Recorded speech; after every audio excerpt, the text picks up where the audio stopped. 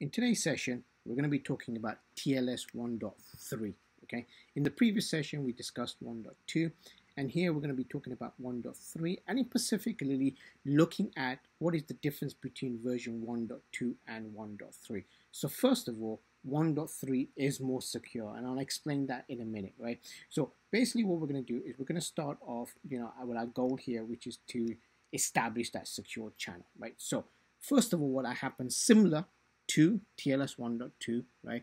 The client is going to send out that hello packet. Okay, so nothing changes there.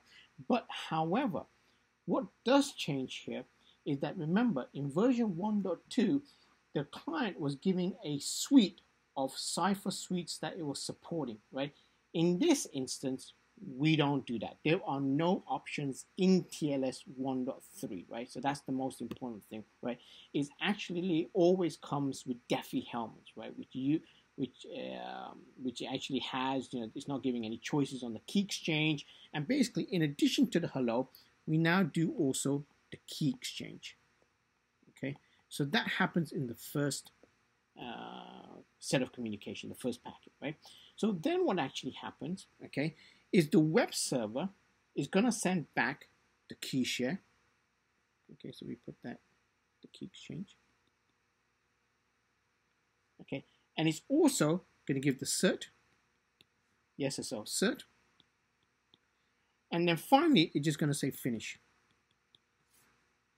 So you see basically in this session here, if you look at it, in a single round trip with the client gave the hello and the key exchange, and the web server gave the uh, the server hello plus the key exchange, and finally the SSL cert and finished. Right, that all happened in a single round trip, and thereafter, basically what happens is the symmetric session key is established, which is used for the communication back and forth, right? So basically in TLS 1.2, we saw two sets of round trips here, right? We saw a round trip there of the hello.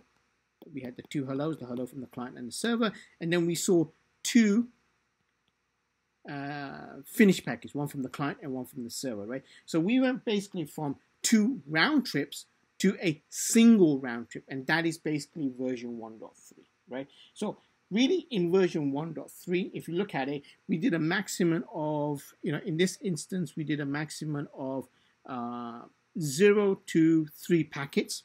And in the TLS 1.2, there is usually about 5 to 7 packets. So we put that into 5 to 7 packets in there. Okay. Now, a couple of other things that we want to kind of like bear in mind here is that with TLS 1.3, right? Now, now that we established that there are no options, we're not giving any options of selecting stuff, right? Um, even we're not giving the selection of actually choosing what TLS version that we're using. There is know there is a static. There is no static RSA handshakes. is is a full handshake uh, with signature. You know there's downgrade protection in version 1.3. Uh, it's deprecating some of the weaker ciphers, right? So uh, things like SHA-1, MD5, things like that. Um, there's no renegotiation, uh, things like that. You know, all the weaker stuff has actually been removed, right? And that's what makes version 1.3 more secure, right? Because it's using more secure protocols, is not providing any options. And also, if you look in terms of kind of like the performance here, because we're using just round two round, a single round trip here, right?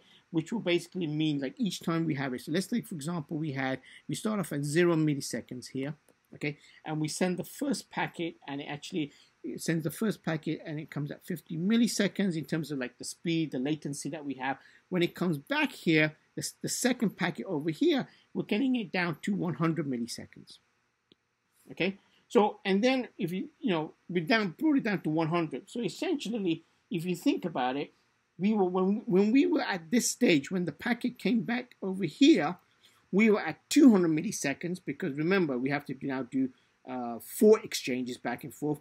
On the TLS 1.2, we were at 200 milliseconds. So now you can see now we've increased the performance um, half-fold, right? So we improve the performance there. So if you think about it here, it's more, version 1.3 is more efficient, it's more secure, um, but the reality is only 80% of the world's TLS traffic right now is version 1.2. Okay, just to keep that in mind. Okay, thank you.